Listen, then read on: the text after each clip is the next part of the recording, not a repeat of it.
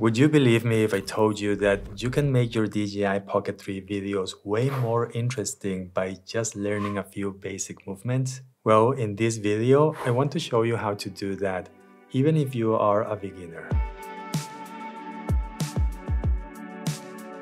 The orbit shot is a circle motion around a subject, and for this movement, I like to use tilt lock on the Pocket 3 and the idea is to walk around your subject and keep it in the middle of the frame at the same time. This helps to create a dynamic movement between the subject and the background that we know as parallax effect. A lot of times there is no physical space to do an orbit shot, and in those situations, there is a trick that I like to use which is like a flat semicircle. I know, it doesn't make any sense, but the idea is to select a center point in front of your subject. You want to start a few meters away and walk towards that center point and then keep going just a bit more. You also need to keep your subject in the middle of the frame from the beginning to the end. And this is an example of what it looks like.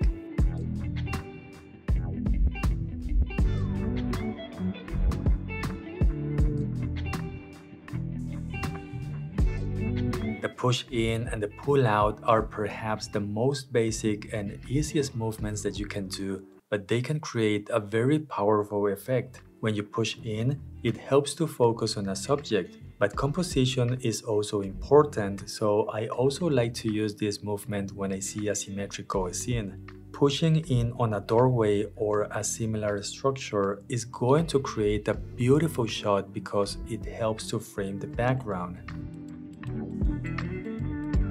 For these shots, most of the time I prefer to use tilt lock on the gimbal, but sometimes I like to tilt the camera upwards when I'm pushing in, and for that you would need to use follow mode on the Pocket 3.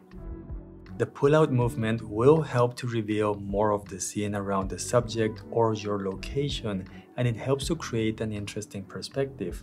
My recommendation here is to look out for elements that can be used, for example, as a foreground as this will emphasize the movement. For this other video, I went inside this tree house and there was this window looking towards this lovely character. With the Pocket 3, I extended my arm outside the window and slowly pulled myself away. This window became my foreground element and it framed my shot very well.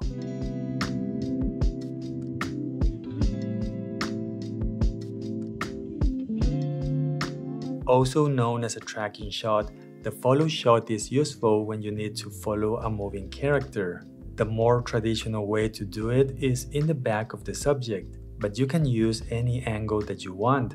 This means that you can use the Pocket 3 in front of your subject or you can track a person from the side. You can also try to use a different distance between you and your subject just to mix things around. And for these kind of movements, I also like to use tilt lock on the gimbal.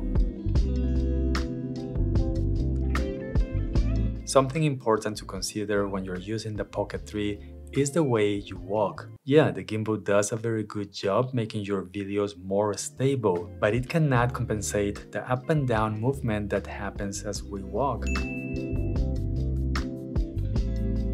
You've probably heard about the ninja walk and you can do that, but the main things that you need to consider is to walk smoothly and pay attention to your arm moving up and down and try to avoid that.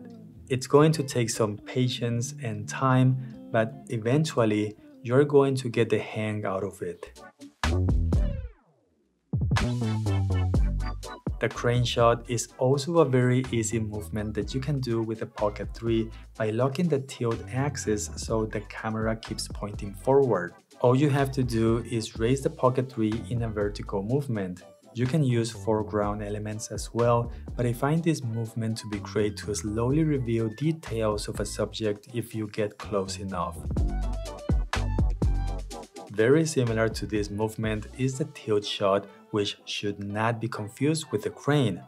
But who cares about the name anyway? The Pocket 3 needs to be on follow mode and for this movement, you just have to point down with the camera and then slowly raise it. You can also do the opposite and point up and then slowly lower the Pocket 3. In this video clip, I combine the push-in movement with a tilt shot to create a more dynamic video. These movements are not difficult to do. It will take a bit of practice, but I'm sure that you can do it with no problems. Let me know in the comments down below what kind of movements you like to do with the Pocket 3. I hope you're having an amazing day and we hope to see you in the next video. Bye.